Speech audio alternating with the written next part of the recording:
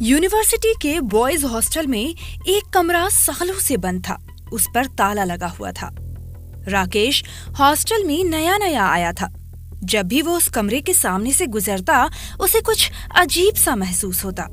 लगता था कि कोई उसे उस कमरे की तरफ़ खींच रहा है, मगर उसने इसे हमेशा अपने मन का वहम ही समझा। दोस्तों, वहम कभी कभी सामने दिखी चीज़ों को मन का वहम समझ लेना बड़ी मुसीबत पैदा कर सकता है। नमस्कार दोस्तों, मैं हूँ दीपिका और स्वागत करती हूँ आपका दीपिका स्फीयर बॉक्स में। राकेश के साथ हैरान कर देने वाली घटना घटी। तेज बारिश हुई और तूफानी हवाएँ चल रही थी। ज़ोर ज़ोर से बिजलियाँ कड़क रही थी। चारों तरफ़ सन्नाटा पसरा हुआ था। इसी सन्नाटे में रात 12 बजे के करीब राकेश को किसी ने आवाज़ दी। राकेश मेरे पास आओ। मुझे तुम्हारी ज़रूरत है। आओ ना राकेश आ जाओ। इस आवाज़ में ऐसा खिंचाव था कि राकेश तुरंत उठकर उस बंद कमरे की तरफ़ चल पड़ा।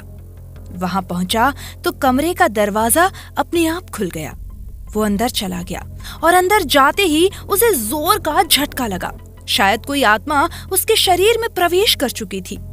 उसके बाद वो कमरे से बाहर चला आया और वो दरवाज़ा फिर से अपने आप बंद हो गया। उस दिन के बाद से बॉयज़ हॉस्टल में बेहद अजीब अजीब घटनाएँ घटने लगी। आधी रात के वक्त उस बंद कमरे का दरवाज़ा अचानक अपने आप खुल जाता। राकेश उसमें जाता और दरवाज़ा फिर बंद हो जाता। फिर उसके ज़ोर ज़ोर से रोने की आवाज़ें सुनाई देने लगती। जो भी आवाज़ें सुनता, उसका दिल बैठने लगता। दिन में भी राकेश के आसपास ऐसी ही डरावनी घटनाएँ घटती थी। कभी कोई अचानक से ठोकर खाकर गिर जाता तो कभी हॉस्टल की बालकनी में सुखाए गए कपड़े एकाएक हवा में उड़ने लगते थे। यूनिवर्सिटी कैंपस में दो छात्रों की मौतें भी हो चुकी थी। एक छत से गिरकर मर गया था और दूसरा एक कार ने कुचल दिया था। ये हादसे भी राकेश के आसपास ही घटे थे। तभी एक दिन राकेश का बड़ा भाई राजेश और उसकी बहन अंजलि उससे मिलने हॉस्टल आए। उन्हें देखते ही राकेश की आँखों में खून उतर आया। लाल आँखें और डरावना चेहरा। उसने राजेश से कहा मैं राकेश नहीं, अतुल हूँ अतुल वही अतुल जिसको तूने अपने दो साथियों के साथ मिलकर फांसी पर लटका दिया था, उनको तो मैं मार चुका हूँ, और अब तेरी बारी है। तुम ये क्या कह रहे हो अतुल? क्या तुमने आत्महत्या नहीं की थी?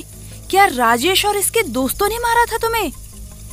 अंजलि, अतुल की आवाज़ को बहुत अच्छे से पहचानती थी। अतुल ने जवाब दिया। हाँ इसी ने मारा था मुझे क्योंकि मैं तुमसे प्यार करता था और ये नहीं चाहता था कि मैं तुझसे प्यार करूँ।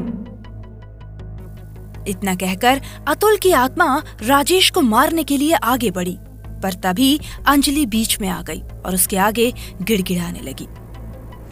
अतुल राजेश की जान मत लो। तुम चाहे मेरी जान ले लो तुम्हें मेरे प्यार की कसम है। इस तरह नफरत के आगे प्यार की जीत हुई। अतुल की आत्मा शांत हो गई और उसने राकेश का शरीर हमेशा के लिए छोड़ दिया। साथ ही राजेश को कानून के हवाले कर दिया गया और उसे अपने किए की सजा मिली। वो कहते हैं ना कि प्यार करने वालों की हमेशा जीत होती है। ऐसा ही कुछ इनके साथ भी हुआ।